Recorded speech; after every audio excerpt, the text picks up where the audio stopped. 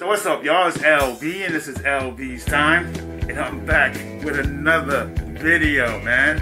Alright, so y'all know I've been working hard on the bike all winter. You know what I'm saying? I'm about to show y'all a sneak peek of the design. I was gonna put the wrap on it and move that over. I want y'all to see it yet. I was gonna put the wrap on it, but I decided not to go with the wrap. You know what I'm saying? Because um, I don't know. I just decided not to go with it. Couldn't make up my mind. But I think I came up with a nice concept that definitely makes the bike look good and different and my own original style. All right, so y'all ready for that sneak peek? Here we go. One, that's how we've been raised. Society is getting heavy. I can feel the weight, the pressure of success is like a hundred million pounds of shit. All right, here we go. That's the style I decided to go with to match it up with the car. I decided not to go with the wrap. I think the paint looked better. I designed it myself. You know what I mean? And it definitely matched the Lex, match up with the Lex. And uh, I like it, man. You, you, know what I'm saying? But you got to just picture the whole thing together. You got to picture the whole bike together. You know, put together. It's gonna look real nice. So uh, that's just y'all sneak peek, and that's the style I came up with. I like it. It matches up the Lex. You know what I'm saying? And that's like two peas in the pot. Definitely want to give a shout out to my boy Pete, who came up with this nice design on his shirt. You know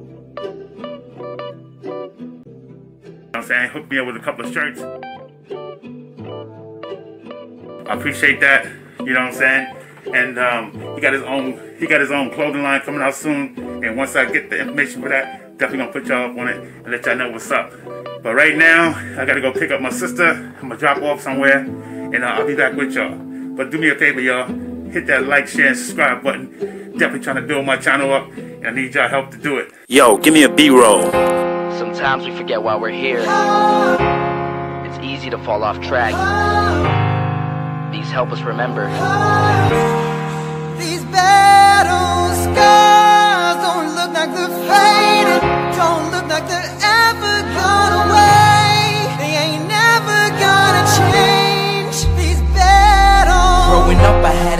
something no one else could see. Tell me what it means when your faith is falling beneath your knees and you can't breathe. Everything you see reminds you of what you're not or something you won't be. You gotta take what you're given, that's how we live it. Don't be mad at the system, it's simply how we've existed. I hear a lot of people talking like they politicians and choose to be an accountant because it's safe in the business. Not because they wanna do it, just because they heard it pays. And who the fuck wants to be poor? No one, that's how we've been raised. Society is getting heavy, I can feel the weight. The pressure of success is like a hundred million pounds of shame. And that's the reason I'm staying up late, trying to find a way to escape the stereotypes. This day and age is making me feel like the only way I'll be happy is getting signed to a label and making money through rapping. I wanna share my emotion because this world is attacking the very principle of life that lets the people be happy. If you don't have a reason to breathe, why even live? These battle scars are impressions of everything that it is.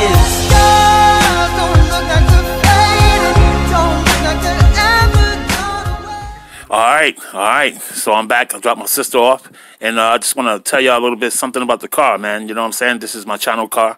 This is um the Lexus SC400 V8. You know what I'm saying? It's a project I've been working on. Um, you know, I did the paint job myself, me and my homeboy. Uh, I got the Giovanni wheels on it. You know what I'm saying? Like uh, these are called the uh Giovanni Capris. These are the Giovanni Capris wheels. You know what I'm saying? I wanted to go bigger, but you just can't find them no more. I mean, I wish I knew somebody that uh, remade the wheels or something like that. I would definitely get them remade it over in a bigger wheel, like a 22. I already got coilovers on the car, so I can raise the car up higher or lower. I mean, it's definitely a cool car. It's definitely a conversation piece. You know, everywhere I go, people ask about the car. I go to the gas station or anywhere. You know what I mean? They always um ask about the car. They love the car. You know what I'm saying? It's just a cool thing, and that's what you want for your your channel. It took a lot of hard work to get this car to where it's at now, but I'm not finished with it yet. If you go back and pull up some of my old videos, you can see how I painted the car and what it took to get it to this point. So subscribe to the channel, y'all. It's all free. There you go. So it's the next day, y'all. I gotta put some gas in this car. I didn't get a chance to do it yesterday, but it's alright. It's all good. It's a nice day out here, man. We having. The sun is out. Pull up to the new gas station. Get me some gas. Put some gas in this thing, but it's all good. And it's actually hot out here, man. Like, go throw on some shorts or something like that. And what a nice day. We finally passed that winter. The snow is definitely gone. All right. So let me put some gas in this, and I'll be right back with you.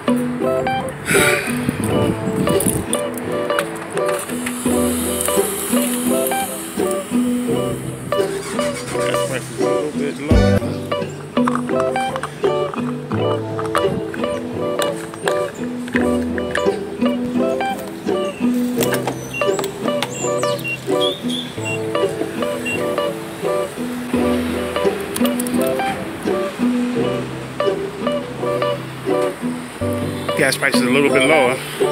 That's a good thing. 389 New York.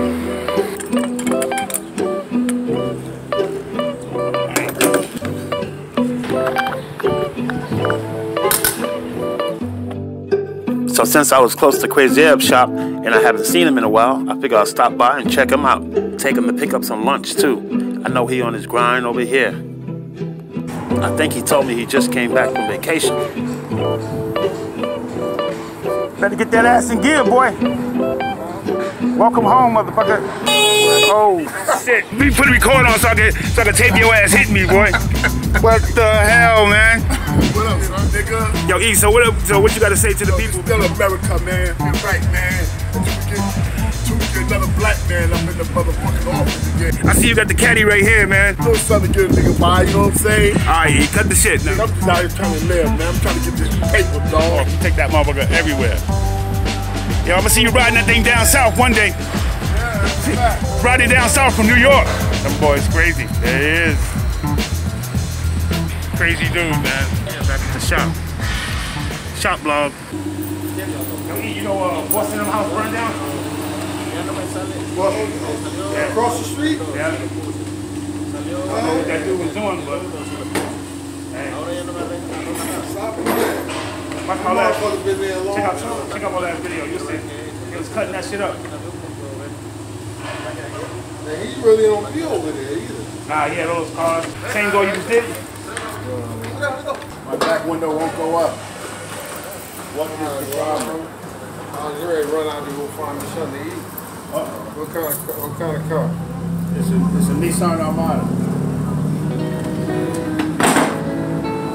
Poor Crazy ass. It looked like he couldn't catch a break today. You know what they say though, the grind don't stop. He was just about to leave out and go to lunch. Damn. I'm gonna get my boy to lunch in a minute, no matter what. But check out this Jeep that I was looking at, man. That thing is real nice. I'm trying to get this Jeep.